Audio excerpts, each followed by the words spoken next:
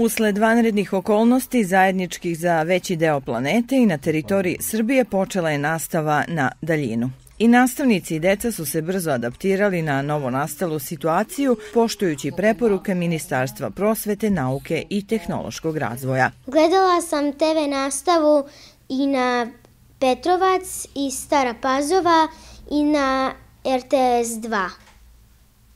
Bilo mi je i lepo, i, ali bolje je da učimo u školi sa učiteljicom i mojim drugarima. Pohvalno je da su nastavnici uprkos veoma kratkom roku i potpuno izmenjenim uslovima rada organizovali online nastavu i stali da predaju pred kamerama. Imala sam i preko ovaj, to Google učionice što nazivamo, uh, saradnju sa učenicima gde sam njima posebne prezentacije pripremala, uh, Naravno, kontrolni zadaci su tu bili koji su učenici uspešno odradili, ali bilo je i snimanje televizijskih emisija. E, taj deo mi je mnogo teže pao, zato što preko Google učionice ja sam stalno bila u kontaktu sa decom, pričala s njima, dopisivala se i nekako nadoknadila sam to što mi je falilo u toj učionici. A u samoj učionici bilo mi je strašno kad sam morala da stanem e, ispred table, odnosno ispred karte i da pričam a nikome.